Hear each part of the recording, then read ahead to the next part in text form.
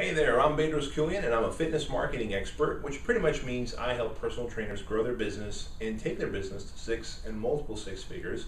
And in fact, I've done that for the last nine years now, and I've helped thousands of personal trainers achieve their ideal business career. So, what I'd like to teach you is how to start a personal training business. Now, there's four specific things you need to look at when you're starting your personal training business. Otherwise, you're pretty much going to tank it and end up getting a job at a big box gym, which, if you ask me, from my experience when I was working in a box gym, it's not the funnest thing, right?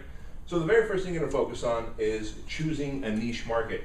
This is critical because if you're not happy with the type of people you train, doesn't matter how much money you make over time, you're really going to hate what you're doing and you're going to burn out and of course you're going to tank your business. Now, if you think that you can train all types of people, male and female, 8 to 80, I've got bad news for you. You can't do that either because you've got to be a specialist, not a generalist. So you've got to specialize on a niche market that you want to train.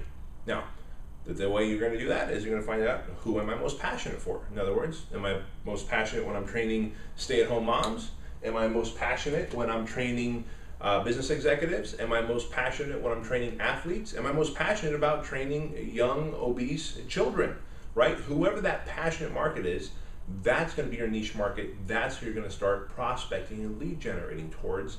And you're just going to completely polarize everybody else. So identify your niche market and laser focus on them and forget about everybody else. That's number one. Number two, you have to offer something that that niche market wants. Well, that's easy enough. You're a fitness professional. You know how to deliver amazing results and probably craft uh, really great nutrition programs. However, the thing you need to figure out is what is my offer going to be? Is it going to be one-on-one personal training, group personal training, or boot camps? Now, if you're starting from scratch, if I can help you make a decision, that decision would be consider doing boot camps because you're going to have a lot more leverage. And instead of doing one-on-one, where your revenue is always being chased by your payroll because you have to train uh, a lot of clients, which means you have to get a lot of personal trainers if you're doing one-on-one, right? Small profit margins in that. Versus group training or boot camp, essentially you have one trainer training 5, 10, 15, 20, 30 people at a time. Now if you think that's impossible, I challenge you with this, right? Look at the professional NFL teams. They've got one coach working with 15, 20, 30 athletes at a time.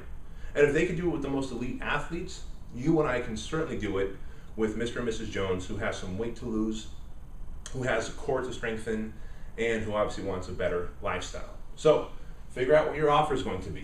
That's the second thing you're going to do. Now, the third component, which is really important, is creating systems.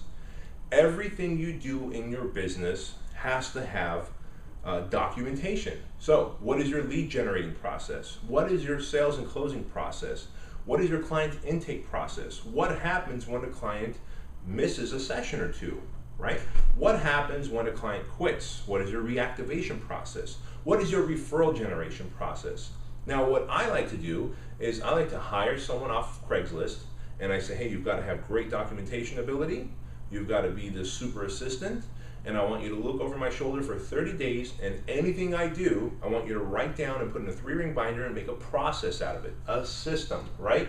And that becomes your systems manual, so that if you ever have to replace yourself, you can by handing the systems manual to an assistant, a manager, a business partner, whoever, right? And of course, nothing happens without marketing. Unless you can get traffic into your fitness boot camp or to your personal training studio, you're really not going to get to use your systems or offers and attract a niche. So consider this your business relies on lead generation. Everybody in your community is a suspect right now. You've got to find out who the prospects are by making them specific offers to download a free report, to go to a website, to go to a squeeze page, to come to a free seminar, right? So you can identify the prospects from the suspects. Now you're going to get their contact information and put them on an email list and talk to them several times per week by delivering great education, content, adding value to their lives, and showcasing your skills and knowledge, and of course, some of your most successful clients, because that is social proof, testimonials. And as you do that, you're going to make them special, unique, and very irresistible offers. And when you do, they're going to come in to take advantage of that offer, and you're going to use your closing system to convert that prospect into a paying client. Now, rather than going on for about two hours about marketing, I want to give you my best marketing strategies absolutely free. These are the same strategies that I give to my high end coaching clients who own six and multiple six figure personal training studios. All you have to do is click the link right down below, go to my blog, download the free gift that I have for you, and use those marketing strategies to grow your personal training business and take it to the next level. I'll see you later.